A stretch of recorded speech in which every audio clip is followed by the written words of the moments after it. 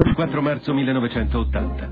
A El Salvador, nel Centro America, il vescovo Oscar Romero viene ucciso con un colpo di fucile mentre celebra la messa.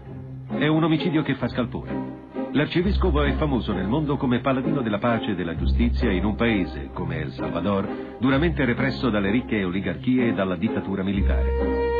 Nella sua ultima omelia, come sempre, Romero elenca le persone sparite durante la settimana, studenti e contadini portati via da uomini senza divisa ma con scarpe militari verso una destinazione ignota. E per chi ha ordinato la sua morte, proprio questa è la sua colpa, aver rotto il silenzio.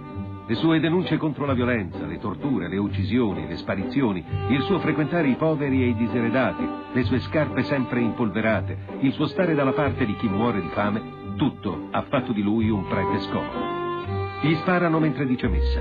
E oggi Monsignor Oscar Romero è un martire per la Chiesa, è un santo non ufficiale per tutti i poveri dell'America Latina. A loro aveva promesso, se vengo ucciso, risorgerò nel mio popolo.